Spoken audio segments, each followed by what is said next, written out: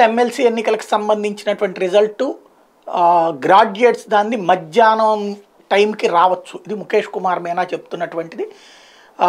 టీచర్స్ది మాత్రం రాత్రి పొద్దుపోయేటువంటి అవకాశం ఉంది. మొత్తం ఐదు స్థానాలు. ఈ ఐదు స్థానాల్లో కూడా YSR Congress party Telugu Desam party graduate సెగ్మెంట్లో పోటీ పడితే వైఎస్ఆర్ కాంగ్రెస్ పార్టీ కమ్యూనిస్టులు ఉపాధ్యాయ సెగ్మెంట్లో పోటీ పడ్డారు. భారతీయ జనతా పార్టీ కూడా పోటీలో ఉంది. గ్రాడ్యుయేట్ సెగ్మెంట్లలో ఉత్తరాంధ్రలో త్రిముఖ పోటీ నడిచింది.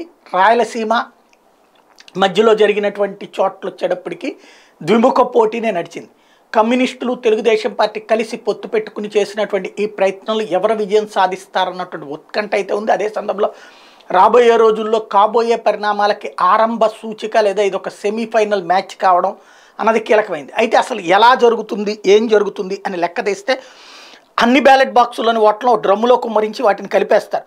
ఏ పోలింగ్ స్టేషన్లో ఎవరికి ఎన్ని ఓట్లు వచ్చాయో తెలిసే అవకాశం ఏమాత్రం లేదు. అభ్యర్థి గెలుపుకి చెల్లిన ఓట్లలో సగం ప్లస్ వన్ రావాలి. తొలుత మొదటి ప్రాధాన్య ఓట్లను ఎవరికి ఎన్ని వచ్చాయో లెక్కిస్తారు.